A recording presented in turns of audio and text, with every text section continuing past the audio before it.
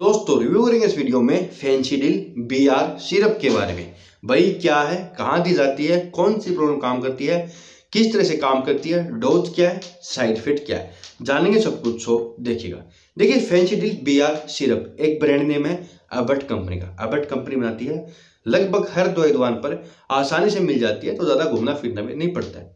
दोस्तों, इसको doctor prescribe करते हैं। सेल्फ यूज़ नहीं की जाती, इस चीज़ का ध्यान रखिएगा। बात में कहाँ दी जाती है। तो दोस्तों, ये एक पीने की सिरप आती है। बड़े लोगों में दी जाती है।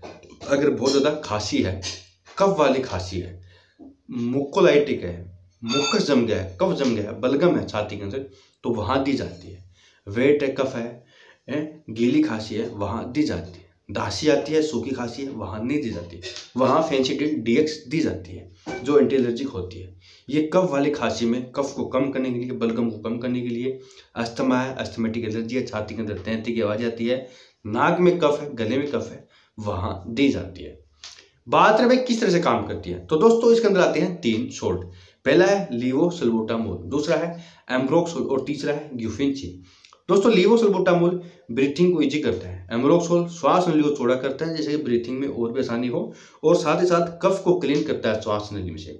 ग्यूफेंसिन कफ को पतला और ढीला करके बाहर निकालता है। अगर कहीं कफ चिपा हुआ है तो वहाँ से हटाकर भी खांसी के थ्रू बाहर निकालने में काम करता है। डोज के बारे में बात करें, अगर कोई बड़ा व्यक्ति है तो पाँच पाँच एम दिन में दो से तीन बार ले सकता है। मैक्सिमम दिन में तीन बार ले सकता है खाने के बाद।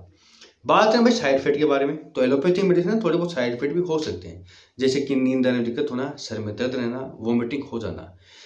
और भी दोस्तों साइड इफ़ेक्ट हो सकते हैं अलग अलग व्यक्ति में। लेकिन ये हर किसी को नहीं होते, बहुत ही कम चांस में होते हैं तो घबराने की बात नहीं है। सावधानी इसकी ये है कि डॉक्टरी सलाह से लेना है सेल्फ यूज़ नहीं करना है। अगर कोई महिला प्रेगनेंसी में या ब्रेस्ट फीडिंग में तो वहाँ पर भी डॉक्टरी सलाह से लेना चाहिए, बच्चे के लिए अच्छा रहता है।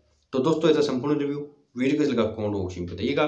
कुछ भी समझाओ लाइक कीजिएगा, चैनल सब्सक्राइब ज़रूर कीजिए मिलती है